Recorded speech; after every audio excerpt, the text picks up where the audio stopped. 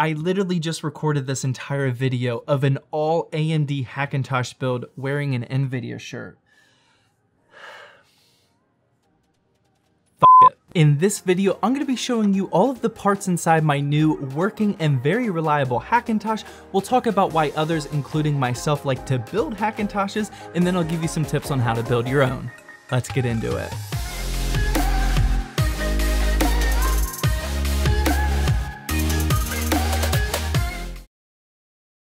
Hey, welcome to Zach's Tech Turf. Today I'm going to be sharing basically my entire experience with my new Hackintosh build, which we assembled on a Twitch live stream, by the way. Absolutely ridiculous. All right, 50% done. We got that and that. Now all we have to do are these RGB fans. You should totally be following me over there, and then we're just gonna talk about some random Hackintosh things in general. And if you're new here and you wanna see other PC build guides just like this one, then hit that subscribe button down below and also that notification bell. That way you never miss an episode. But yeah, Let's check this build out. Starting with the parts list for this Hackintosh specifically, the CPU that I decided to go with is a monster Ryzen 7 3700X that's rocking 8 cores and 16 threads, which is super beefy and big thanks to Micro Center for sending this one over. I'm sure you guys already know this by now, but Micro Center is the spot to look if you're in the market for a new CPU like this, or even better a CPU and motherboard combo because they always have the best prices in their stores and I've been going to them for about a decade at this point. I'm kinda mad that I literally just moved even farther away from a micro center just doesn't make any sense. But anyways, I will have their links down in the description. Moving to our motherboard, this one was also sent over, this time from ASRock as it's their X570 Steel Legend. And honestly, the only factor that went into me requesting this one was because of its white and black color scheme. There's not many AM4 white motherboards these days, so this was a pretty easy choice. The X570 Steel Legend is however rocking some other benefits such as a 10 power phase design with better overclocking support, an integrated IO shield which we'll talk about a bit later, two M.2 SSD slots, and another M.2 slot for a Wi-Fi chip, which we'll also talk about later, ECC memory support, and even some RGBs. Moving on, we get to the RAM, and this is the typical RAM kit that I've been going with for a lot of my higher end builds. It's the Corsair Dominator Platinum RGB clocked at 3200 megahertz, and it's 2 by 8 gigabytes. Below that is our graphics card, and because newer NVIDIA cards are pretty much impossible to get working on Hackintoshes, I decided to stick with AMD. This here is the XFX RX 5700 XT Thick 3 model, which XFX was kind enough to send over. Obviously, the bread and butter advantage of this specific model is the thick cooling triple fan design to go along with its 8GB of GDDR6 VRAM and a boost clock of up to 1980 MHz. Now the case is another part that I chose specifically because of the color scheme that I wanted for this Hackintosh build,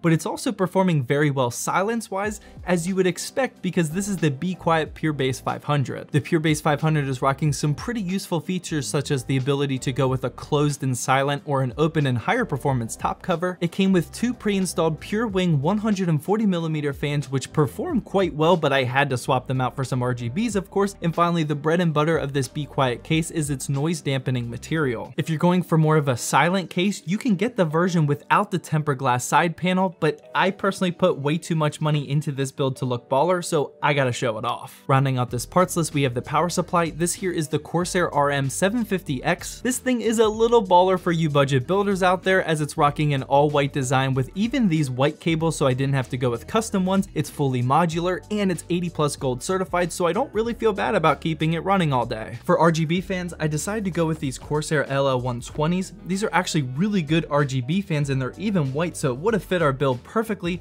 but unfortunately you can only control the colors through the iCUE software as there's no physical button. There is a Corsair iCUE software for Mac OS, but that can only control peripherals because you shouldn't need to control custom hardware. In Mac OS it's Hackintosh, so what can you do? So I decided to swap these out for the basic Antec RGB fan kit that I've been going with with a lot of my other builds. This is definitely a good note for those of you looking to build your own Hackintosh build. Be sure to use RGB fans with a physical button because you may not have the support you need to change the colors if it has to be done through software. For storage in my Hackintosh, I actually have a few SSDs in here because I plan on making this a triple boot system with Windows and Linux as well. Make sure you let me know down in the comment section if you want to see that, but for the Mac OS install, I went with with one of my favorites again, this is the 480GB Corsair MP300. And finally, the last part in the parts list is probably my favorite. As you guys know, I've been working with V1 Tech for a couple of projects now, and they make custom GPU backplates and even SSD colors, and I reached out to them and had them make this custom Apple backplate for my 5700 XT. I installed it as soon as I got it in the studio and it looked amazing, but then I realized that with this Steel Legend motherboard, it wouldn't fit because of the IO cutout. Because of that, I ended up just slapping it here on the PSU shroud, and I think it still looks great here. It's about the right height, so I'm not upset about it at all. Do be aware that V1 Tech will cut the backplates however you want. I could have had them cut out the slot for the IO,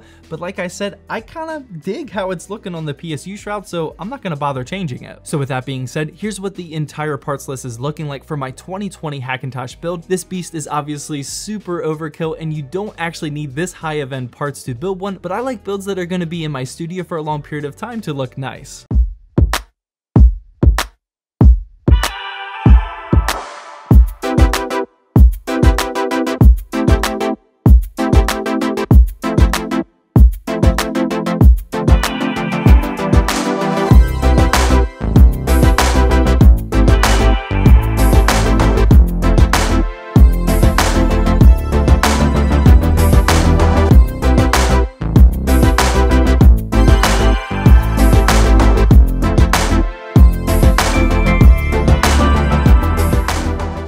Parts list out of the way, I now want to talk about just my Hackintosh experience in general. This isn't going to be a dedicated tutorial or anything, but I do want to explain how my installation process went. Right now, there's two main methods of installing an AMD Hackintosh, OpenCore and Clover. OpenCore is the new holy grail of Hackintosh installs lately, and I'm sure you've seen a bunch of all AMD Hackintosh build videos pop up on YouTube lately.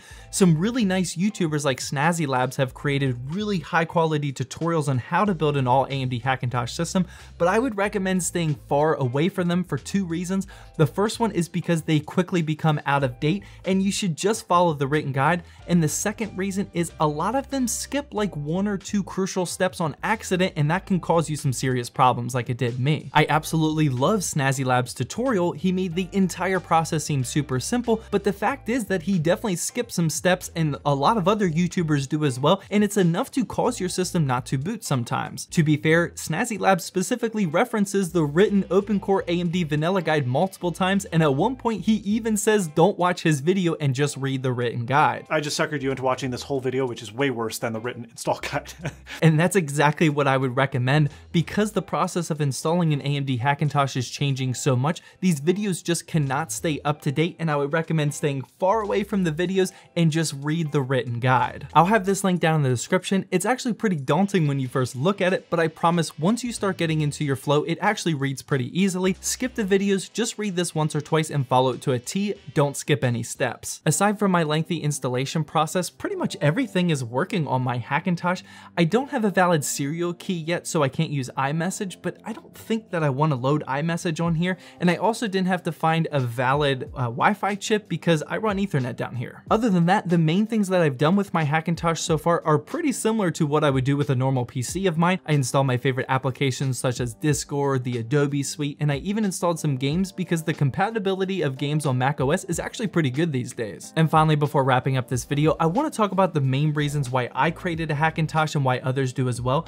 For me, honestly, I just like tinkering with new things such as operating systems and whatnot, and this is just going to be a project build for me personally. This specific build is actually going to be rocking a triple boot, like I said, of macOS, Windows 10, and a Linux distro. I'm thinking of Pop! OS, so for those of you who are interested in cars, this is kind of like a project car for me down here in the studio. Another thing that I really like about macOS is just how clean, minimal, and distraction free it is. Unlike Windows, there's never those annoying pop-ups or notifications or mandatory restarts and updates or anything like that. There's no driver issues as well. It just always works and if you leave it for a week and you come back, it's just still working and it's ready to roll for you. There are some other reasons that most people build a Hackintosh for as well, but they don't won't really affect me. On the production side, it allows you to jump into a macOS product with the ability to customize your hardware, unlike most Mac products. A Hackintosh allows you to get a Mac Pro-like system for sound or video production at a fraction of the cost. It allows you to use specific software such as Final Cut Pro or GarageBand, and you can also take advantage of the Mac ecosystem like FaceTiming or using iMessage or Dropbox on your computer. And finally, although debatable, macOS tends to at least appear to be more secure. macOS isn't actually more technically secure than Windows or any other operating system for that matter. It's basically just a numbers game as hackers are gonna target Windows more often than Mac OS. Mac OS users also typically tend to be the type of people who don't go out looking for random downloads and software, they stick to the App Store, so yeah, it appears to be more secure depending on how you use it. With that out of the way though, overall, I'm definitely really happy with my new start into the Hackintosh world. I'm honestly more excited that I just have a project PC with pretty high-end components in general right now, and I'm excited to see how this build evolves over time. Well, that wraps up my Hackintosh build guide and just a tour around my new project PC. As always, drop a comment down below about what other content you want to see with this PC next, and after that, feel free to head on over to one of these two videos if you haven't seen them yet, definitely hit that subscribe button and make sure you're following me over on Twitch because we have yet another PC building live stream coming up very soon.